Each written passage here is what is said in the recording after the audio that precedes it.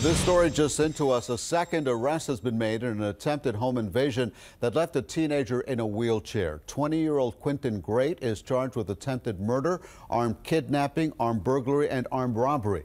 Only CBS 4 News was there when the accused accomplice, 21 year old Isaac Glenn Coles, was booked. Police say Great, And a third man tried to storm into a northeast Miami Dade home to steal some valuables in a safe.